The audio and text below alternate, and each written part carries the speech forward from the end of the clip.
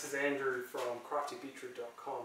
Today we're going to be looking at my modification of my Nerf gun.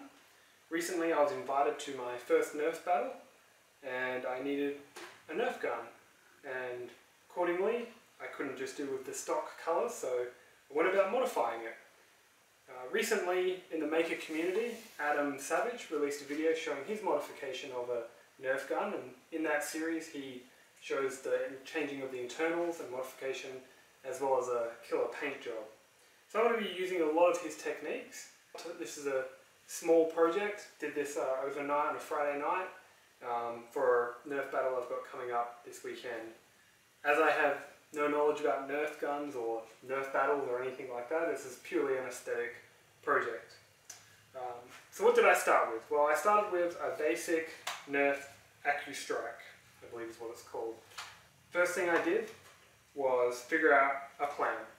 So whenever you're doing a modification, it's best to have some kind of idea about what you're going to do.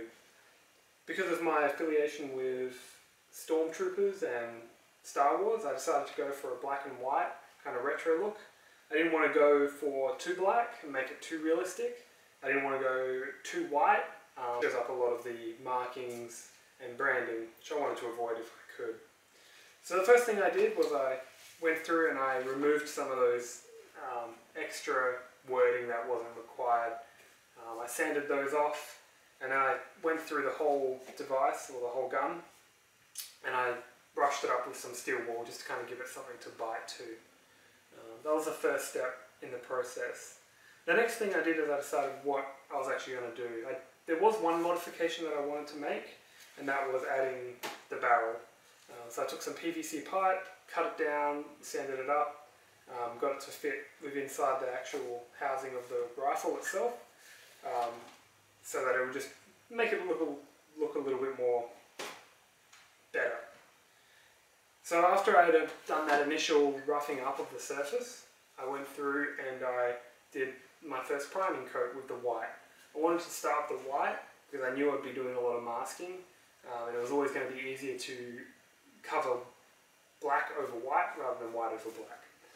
So after I painted the initial white, I went through and then I started masking everything off. Now it's important when masking you be as accurate as possible, but again, this being a quick job, this being, um, I was going to rough it up and I knew I was going to weather it pretty heavily. I wasn't too concerned, but it still took me about an hour to mask it off and then start painting the black. So after painting all the black, uh, we had the base rifle where we kind of wanted it. Um, we then attached the barrel, put the barrel into the housing. Now this isn't glued in, I could pull this out, but it's, with the paint, it's quite a tight fit, so I'm not worried about that going anywhere. So the next step is I want to add a little bit of a pattern. I want to add a little bit of checkering. So I found some, it was actually embroidering grid, um, which we had lying around the house, laid that over, painted it black. Now at this point I used up all my white paint all my black paint in three different cans.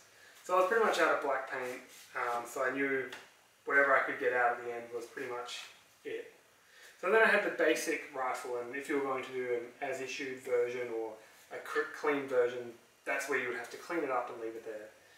But as I was doing the weathered version, uh, my next step was then to do some dry brushing.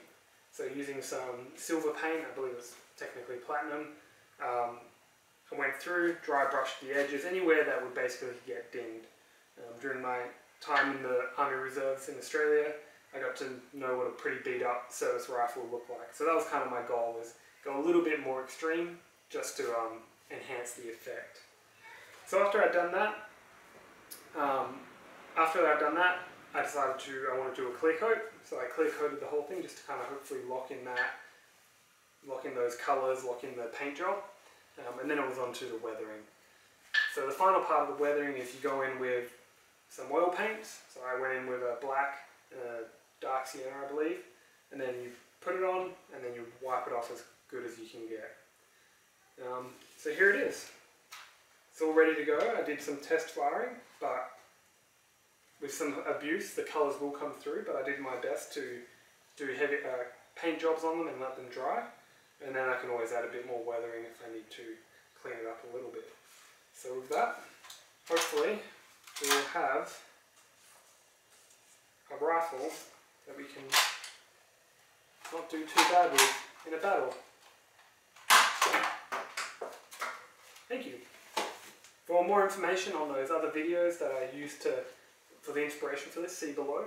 Um, as well as if you're interested in any of our other builds, go to craftybeetroot.com. Thank you.